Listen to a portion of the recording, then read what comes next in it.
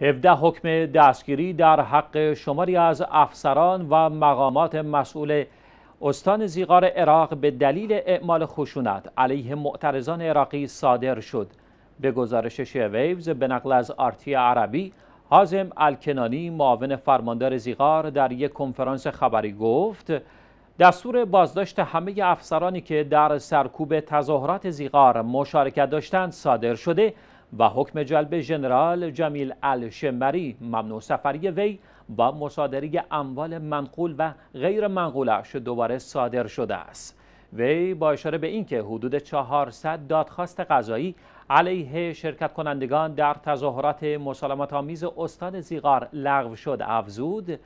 با حضور نمایندگان خانوادهای شهدا، فرمانده پلیس زیغار و گروهی از شرکت کنندگان در تظاهرات با محمد حیدر حسین رئیس دادگاه استیناف زیغار به منظور بررسی امور مربوط به تظاهرات و اقدامات قانونی در حق متهمان سرکوب تظاهرات و دادخواستها علیه تظاهرات کنندگان ملاقات کردند. الکنانی یادآور شد رئیس دادگاه استیناف زیغار در این دیدار از صدور 15 حکم جلب در حق افسران سرویس های امنیتی که در سرکوب تظاهرات دست داشتند و همچنین صدور حکم دستگیری در حق جبار الموسوی رئیس کمیته سابق امنیتی و مصادره اموال او در پرونده حوادث 26 اکتبر گذشته خبر داد.